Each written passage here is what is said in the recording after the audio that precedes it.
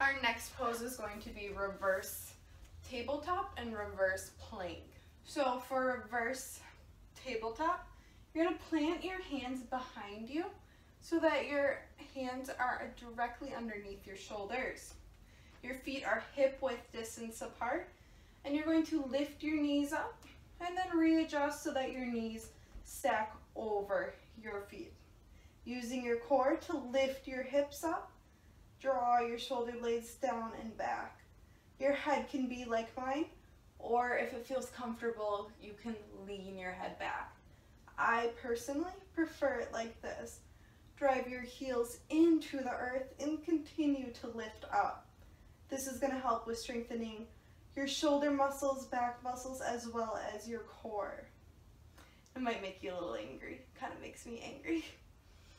All right, and then bring your hips back down and release. First plank, it's similar. So what you're gonna do is plant your palms behind you, bringing your palms underneath your shoulder blades. Fingers are out wide, using your core to lift your hips up. You can stay here and eventually work your way towards extending your legs out.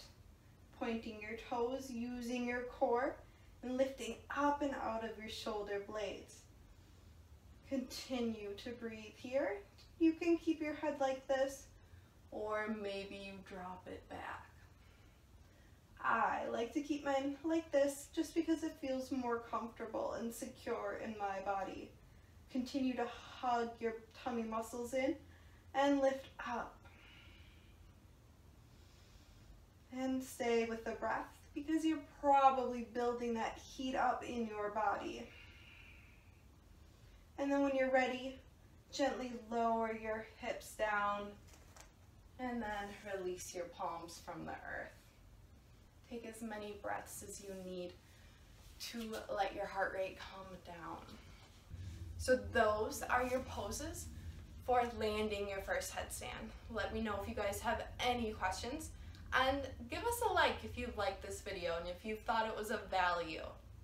Continue to stick with the Exploring Yogini for updates and new videos and new travel adventures. Thank you for watching. Namaste.